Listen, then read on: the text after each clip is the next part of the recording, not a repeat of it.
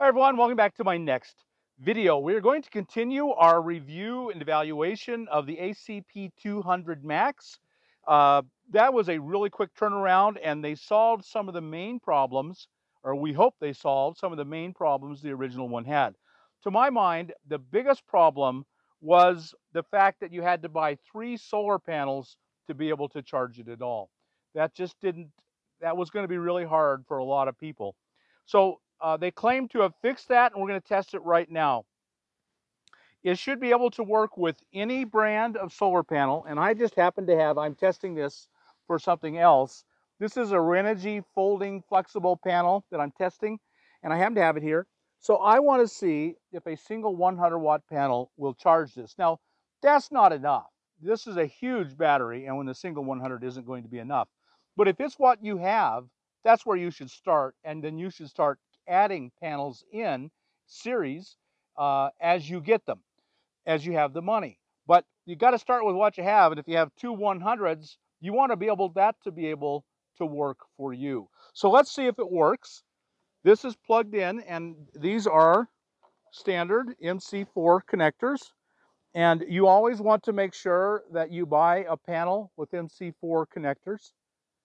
And because uh, they're so simple and they're universal uh, you connect, you plug in the cord, and then you put in your MC4s. Any MC4 panel supposedly will work. Let's find out. So if you remember, the big problem with the old one is you could not charge it with a single panel. What we have here is a single 200 watt Bluetti panel, and we've connected it, and it is charging it at 161 watts. Uh, and it'll jump around a bit, 161, 166 the uh, shade goes across and of course it'll drop and you can watch it do that on the on the display. So, but this will charge it and that does solve the problem of only being able to charge with three panels and not just one because all it takes to, to charge is 10 volts and all panels at all times will put out 10 volts unless there's just, you know, no sun. In the dark, they don't. But and if there's sun, it'll put out a, more, a much more than 10 volts.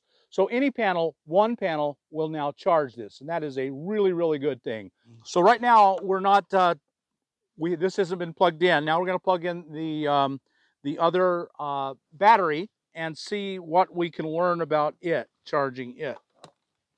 So I just plugged it in, and now this has the five uh, green lights on it that says 20, 40, 60, 80, 100%, and now they're blinking. So I know it's being charged. Okay, so it's kind of a cloudy day and the sun's going in and out of clouds. So to a little, to small degree, we're having problems with that. But um, what it's doing is it's prior prioritizing the, uh, the battery in the, the main unit. And when the sun kind of goes back, uh, then it stops charging. I told you it has five lights here for the different percentages.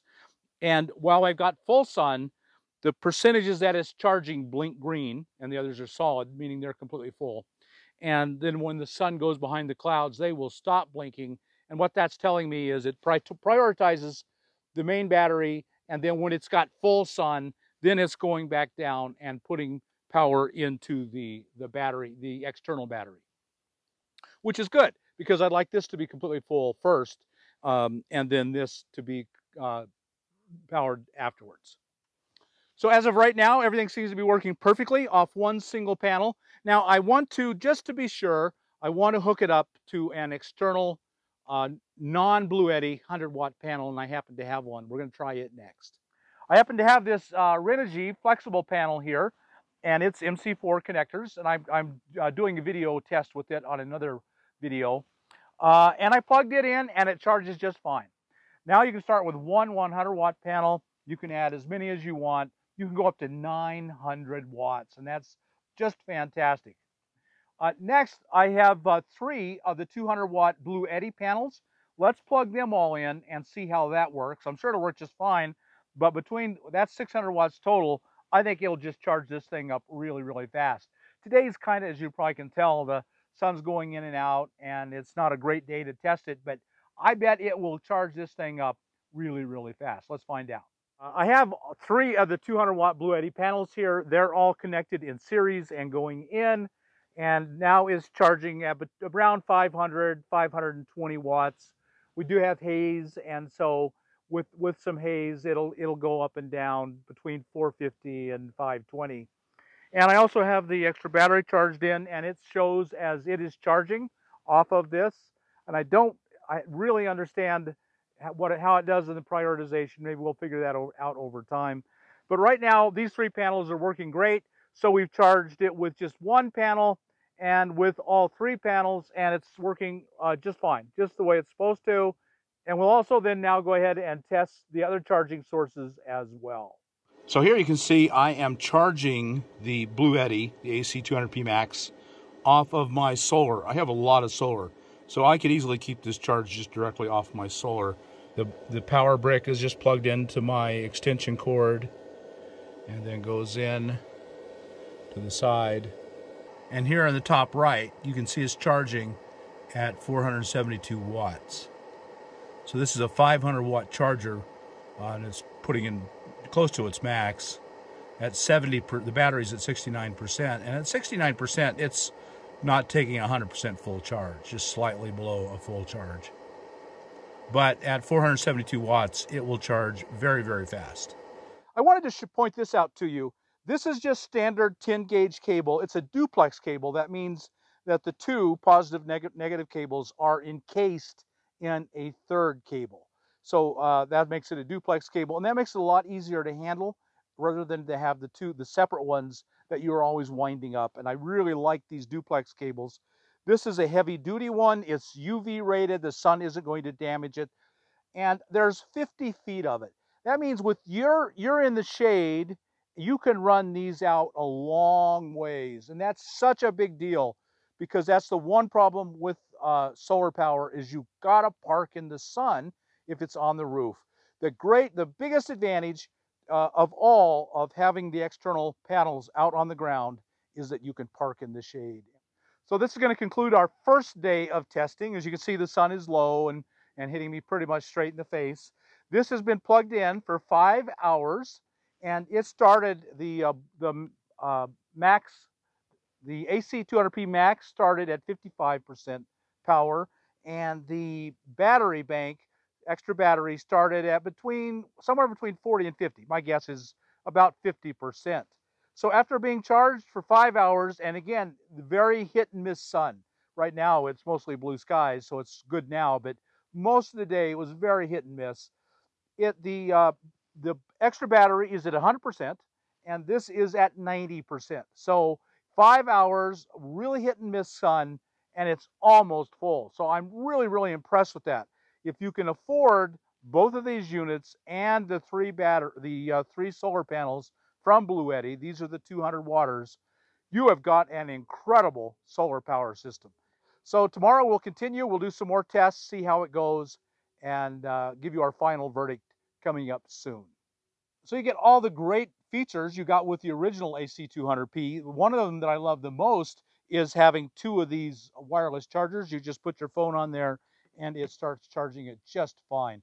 And I've used both of them at once for different wireless devices, and it works great. Charges fast, and I really like that.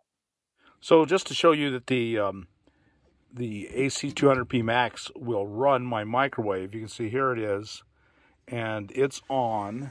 You can see it's on, and it's plugged in.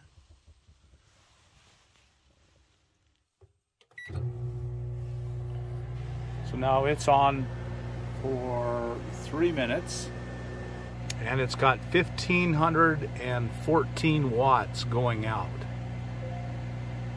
1499 1503 you can see here pretty plainly what it's drawing.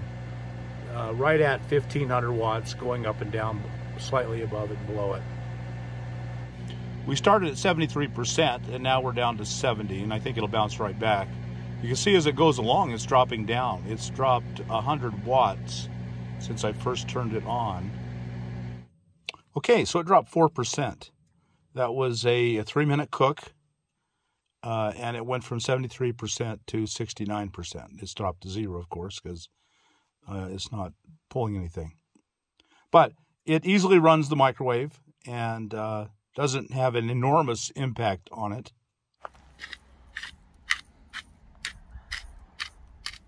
So we're using the um, Instapot on the Bluetti. and you can see it is drawing 690 watts. The Bluetti people were really kind and sent this to me, but you know, I don't need it. I don't uh, have room for it. I have my own solar system, and so I don't know what to do with it. I asked them, can we, uh, we being Homes on Wheels Alliance, the 501c3 that's serving the community so well, can we, HOWA, sweep, offer this as a sweepstakes to the community? And they generously said yes. We would be glad if that supported HOWA and someone in the community got it and was blessed by it. So uh, this is going to be available to every, anyone in the community who enters the sweepstakes. And the sweepstakes will be up and available on the Homes on Wheels Alliance.org website. You can go there and you can purchase tickets for it. And then by the purchasing of the tickets, you support HOWA or no purchase is required. You don't have to buy tickets to enter the sweepstakes. So just go to the Homes on Wheels Alliance page and you'll find the sweepstakes there. And uh, you can purchase tickets or you can, you can enter with no purchase necessary. Just follow the instructions you find there. And maybe you too can win this. You'll be very, very glad if you win this. It's really fantastic. So we've had some time with them and we've looked these over. Let me give you my conclusions on the AC200P and the battery pack 230. They're fantastic units. This solves all the problems of the original by allowing you to use any size uh, solar panel that you have, any number of solar panels, up to 900 watts. That's fantastic. This thing charges so fast on 600 watts so that you can get this thing recharged in a day, no problem. Even with that 2048 watt hour battery, uh, that's 170 amp hours. That's enormous. Uh, if you are a power user, this is probably enough for you. Another big step forward is the addition of the, um, the 30 amp service. I think that's fantastic. If you have an RV, this will serve you really well. Or if you have a home and you can wire it to, for a 30 amp service and you want to just keep this on hand for your off-grid cabin or your uh, you're a prepper and you want to keep ready for when power goes out. This is a fantastic choice. In both of those cases, it might not be big enough for an RV or for an off-grid cabin, and that's where the battery pack comes in. You can add a second battery pack and even a third battery pack. Mm. That gives you 171 amp hours with just the unit. You can go to 341 and then you can jump up to 512 amp hours. And that's a lot because they're LiFePO 4. They'll have 3,500 life cycles and you can go 80% down on each cycle. That is a huge, huge amount of power. Uh, I think you're going to find that more than enough for nearly everyone. Uh, it's just fantastic. Now let me compare it to its main competition, which is the Jackery uh, 1500 or the new EcoFlow Delta. Neither one of those use LiFePO 4 batteries. You should not buy them. They're not worth the money. The, the uh, Jackery will give you 500 cycles the, the EcoFlow will give you 800. This will give you 3,500. Simply do not consider buying them. Uh, these, this has every other advantage to them beyond that, but that alone means you should not buy them. 500, spending this kind of money and only getting 500 cycles is just not acceptable. Don't do it. You're throwing your money away. Now, for most of you, this is probably more than you need. You should go down in size and get one of the smaller ones. They have a 700 watt hour one. That's probably going to serve most of you. You've got to be a pretty power user using a lot of power before you need this big unit, just because of the cost. This is $2,100. Uh, this is $1,800, and that's an awful lot of money. You haven't even got solar panels yet. Uh, you've got everything you need but the solar panels, and but then you're buying solar panels and you're going to end up spending a lot of money. Now, my recommendation for everyone is to install your own system, buy the kind of components that you can afford. You know, if you're buying top quality, then you're going to spend this much or more if you build your own system. Uh, and if you are going to go for a good medium quality system like Renogy, which will last you a very, very long time, you can save a lot of money, but you have to do it all yourself or you have to pay someone to do it. And by you, the time you pay someone to do it, you will probably have spent as much or more than you're going to spend on this or, or one of the smaller uh, the smaller battery stations like the like the 700. So which one, you only you can decide which one's best for you. For a lot of you, it's the simplicity and the convenience of buying one of these. And if you're going to buy one of these, it should be a Bluetti. Right now, they have the best on the market, bar none. They're the best. Uh, and if you need a big, powerful one, this is it. They always have uh, sales going on.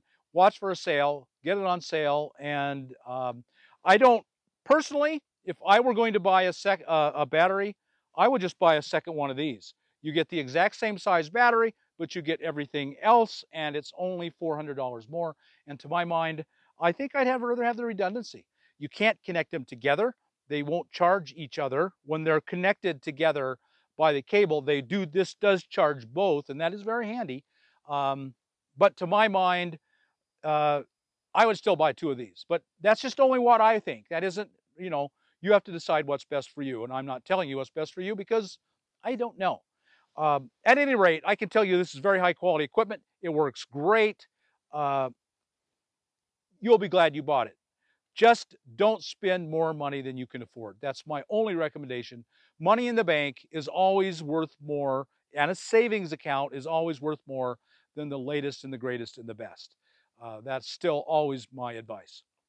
So if you're looking for a station, buy Bluetti, buy the size that works best for you, and I think, uh, I think you'll be very, very happy. So if you got anything out of this video, like us on YouTube, subscribe to the channel, hit that thumbs up button, and we'll talk to you later.